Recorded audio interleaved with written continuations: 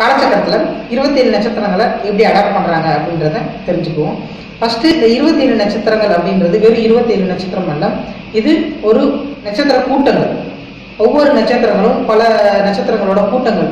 இந்த பல நட்சத்திரங்கள் எல்லாமே ஒரே தன்மையான ஆற்றல்களை வழங்குறதுனால அதை ஒரு நட்சத்திரம் அப்படின்னு சொல்லிட்டு அழைக்கிறோம்.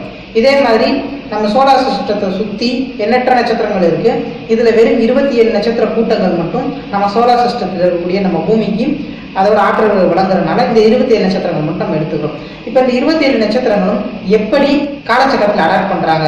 ஏன் அப்படின்னா பன்னெண்டு கட்டங்கள்ல இந்த இருபத்தி ஏழு போடணும் அப்படின்னா இரண்டு நட்சத்திரத்துக்கு அப்புறம் மூன்றாவது நட்சத்திரம் பாதி நட்சத்திரமாக தான் விடுவோம் அப்ப இந்த நட்சத்திரத்தை எப்படி பிரிக்கிறாங்க? இது எப்படி ராசிகட்டத்துக்குள்ள அடைக்கிறாங்கன்றதையும் பார்க்கணும். அதே மாதிரி நம்ம பூமிக்கு எதா இருந்தாலும் மூன்று இயக்கங்கள் அப்படின்னு சொல்லிட்டு பார்த்தோம். அப்ப இந்த நட்சத்திரங்களும் மூன்று இயக்கங்கள்ல தான் பெற்றிருக்கணும். அதுல எந்தெந்த நட்சத்திரங்கள் எந்தெந்த இயக்கங்களை பெற்றிருக்கு? அதை எப்படி பிரிச்சு கொடுத்தாங்க? அப்படின்றத வாங்க பதிவுக்குள்ள போவோம்.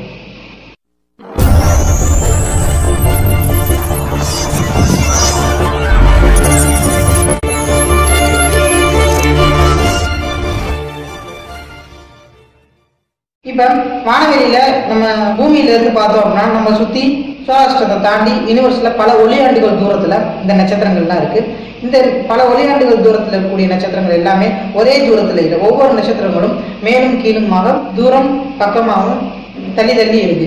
ஆனா நின்று பார்க்க போகும்போது எல்லா நட்சத்திரங்களும் ஒரே தூரத்துல இருக்கிற மாதிரி தெரியும். ஒவ்வொரு நட்சத்திரமும் மேலும் கீழும் இருக்கிற மாதிரி தெரியுது. இந்த நட்சத்திரங்கள்ல நூத்தி இருபது டிகிரி அதாவது இங்க ஆரம்பிச்சு இங்க இருந்து நூத்தி இருபது இங்க இருந்து இங்க இருந்து நூத்தி இருபது இங்க இருந்து நூத்தி இப்படி ஒரு முக்கோண அமைப்புல இருக்கக்கூடிய நட்சத்திரங்களோட தன்மைகள் எல்லாம் ஒரே மாதிரி இருக்கு அப்படின்றத கண்டுபிடிச்சாங்க.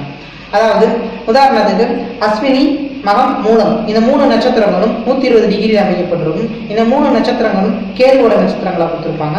இந்த மூன்று நட்சத்திரங்களோட தன்மைகள் ஒண்ணு இயக்கங்கள் வெவ்வேறானது. இதுல உதாரணத்துக்கு அஸ்வினி அப்படின்னு சொல்லக்கூடியது சரத்தன்மையான இயக்கம் உடையது. மகம் அப்படின்னு சொல்லக்கூடியது ஸ்திரமான இயக்கங்களுடையது மூலம் அப்படின்னு சொல்லக்கூடியது உபயத்தன்மையானது. அதாவது வளர்ச்சி அடையக்கூடியது அஸ்வினி நிலையானது மகம் நிலையற்றது மூலம். இந்த மாதிரி ஒவ்வொரு கிரகத்துக்கும் மூன்று மூன்று நட்சத்திரங்களை பிரிச்சு கொடுத்தாங்க. ஒன்பது கிரகங்களுக்கு மூன்று மூன்று நட்சத்திரங்கள் இருபத்தி ஏழு நட்சத்திரங்களை பிரிச்சு கொடுக்குறாங்க. அது எந்தெந்த நட்சத்திரம் அப்படின்றத தெரிஞ்சுக்குவோம். அஸ்வினி மகம் மூலம் கேதுவோட நட்சத்திரம் பரணி பூரம் பூராடம் சுக்கிரனோட நட்சத்திரம் கார்த்திகை உத்திரம் உத்திராடம் சூரியனோட நட்சத்திரம் மிருகசீரிடம் சித்திரை அவிட்டம் செவ்வாயோட நட்சத்திரம் திருவாதிரை சுவாதி சதயம் மூணு ராகுவோட நட்சத்திரம் புனர்பூசம் விசாகம் பூரட்டாதி குருவோட நட்சத்திரம் பூசம் அனுசம் உத்திரட்டாதி சனியோட நட்சத்திரம் ஆயில்யம் கேட்டை ரேவதி மூணும் புதனோட நட்சத்திரம். இந்த மாதிரி ஒவ்வொரு கிரகத்துக்கும் மூன்று மூன்று நட்சத்திரங்களை பிரிச்சு கொடுத்தாங்க. இந்த மூன்று மூன்று நட்சத்திரங்களும் நூத்தி இருபது டிகிரி கோண அளவுல இருக்கும். ஒவ்வொரு நட்சத்திரங்களும் நூத்தி இருபது டிகிரியில தான் இருக்கும். அதாவது ஒன்னஞ்சு ஒன்பது பார்வை அப்படின்னு சொல்லிட்டு சொல்லுவாங்க.